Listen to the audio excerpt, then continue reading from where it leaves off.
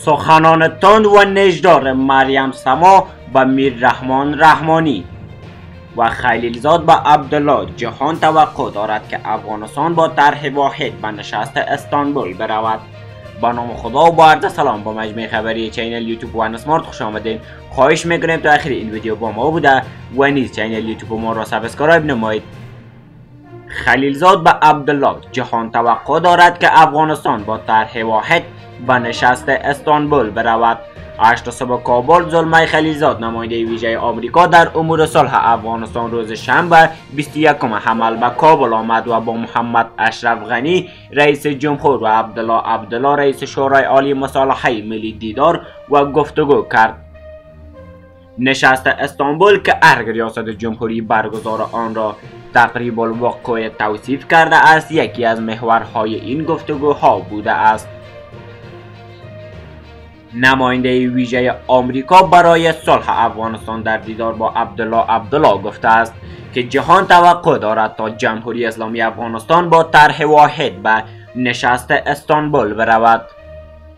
او همچنان تاکید کرده است که کشورش از تلاش های افغانستان حمایت می کند و در کنار مردم افغانستان در راستای تلاش های برای صلح و مرحله بسا صلح می ماند. سپیدار می‌گوید که خلیلزاد از پیشرفته ها برای ایجاد اجماع داخلی زیر چتر شورای عالی مصالحه ملی قطردانی کرده است. او گفته است که ایالات متحده و جهان خواهان تصریح روند صلح و پیشترین استفاده از فرصت موجود برای پایان جنگ و استقرار صلح دائمی در افغانستان است.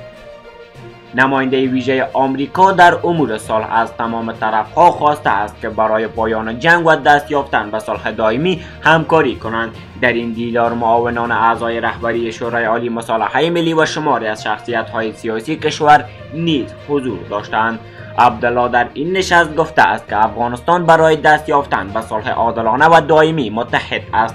رئیس شورای عالی مصالحه ملی افزوده است که این شورا به عنوان یک چتر در راستای برقراری صلح تلاش می کند و این نهاد در توحید دیدگاه های جمهوریت گام های مهمی برداشته و جمهوری اسلامی با طرح و دیدگاه مشترک به اجلاس استانبول می رود از جانب دیگر طبق اعلام ارگ محمد اشرف غنی و خلیلزاد نیز در ارگ درباره پیشرفت های روند سال و آمادگی ها برای نشست ترکیه درباره صلح افغانستان گفتگو کردند این در حال است که سیام نایاب در روی برگه فیسبوکش چنین نگاشته است. مریم سما به رئیس مجلس آقای رحمانی خوش خدمتی به پاکستان را باید بس کند. نصب عکس های پاکستانی ها و پرچم این کشور در خیابان ها خلاف نورم دیپلماتیک است.